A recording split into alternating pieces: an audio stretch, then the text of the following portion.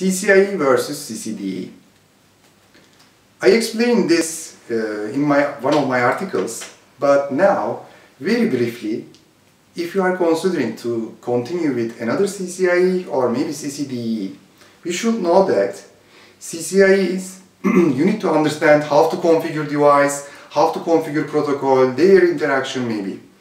But for the CCDE, you need to understand why one protocol or one feature is used how are the interaction of this protocol with the another?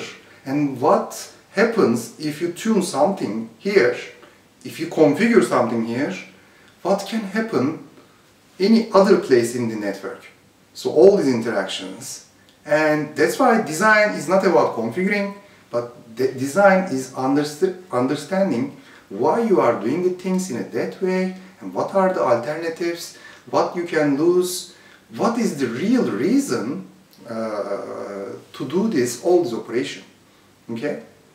So hopefully this is now clear and if you want to continue to configure something, that's okay. So go and be an expert on something, configuring something, but if you want to understand overall how the layer 2 and layer 3 infrastructure, all these protocols, all these technologies, why they are invented, why we are using it that way? What are the alternatives? Again, CCD is an answer.